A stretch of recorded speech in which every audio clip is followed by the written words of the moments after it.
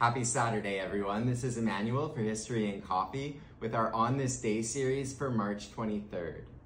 Today we are celebrating the birthday of culinary expert and food revolution leader Fannie Merritt Farmer, who was born on March 23, 1857 in Boston, Massachusetts.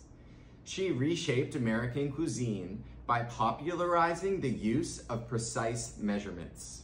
She also made a scientific approach to cooking and its delicious results accessible to Americans in their own homes through her influential cookbooks. Her first major cookbook was called the Boston Cooking School Cookbook and was published in 1896.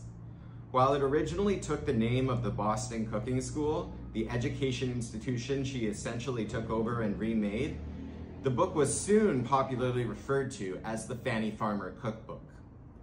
Further explaining Farmer's measurement innovations, historian Laura Shapiro writes, quote, her particular innovation was the refinement known as level measurements, which she promoted forcefully with every recipe she published.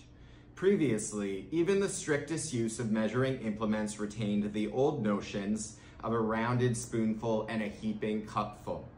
To Fannie Farmer, it seemed simpler and more rational to dispense with the imagery entirely and call a tablespoonful a level tablespoon, using a knife to level the surface after the spoon had been filled, end quote.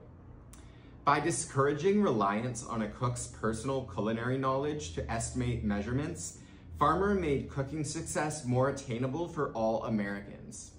She explained this in her original 1896 cookbook writing, quote, correct measurements are absolutely necessary to ensure the best results.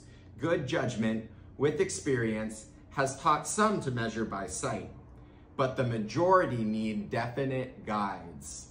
Tin measuring cups divided in quarters or thirds, holding one half pint, and tea and tablespoons of regulation sizes, which may be bought at any store where kitchen furnishings are sold, and a case knife are essentials for correct measurement, end quote. Farmer also emphasized when specific portions should be mixed together in a clearly delineated preparation process. Consider, for example, the instructions for the first donut recipe in her 1896 cookbook. She states, quote, cream the butter and add one half sugar. Beat egg until light. Add remaining sugar and combine mixtures. Add three and one half cups flour, mixed and sifted with baking powder, salt, and spices. Then, enough more flour to make dough stiff enough to roll. Toss one third of mixture on floured board, knead slightly, pat, and roll out to one fourth inch thickness, end quote. Now I want donuts. Thank you so much for watching, and I hope you'll join me again tomorrow for the next edition of our On This Day video series.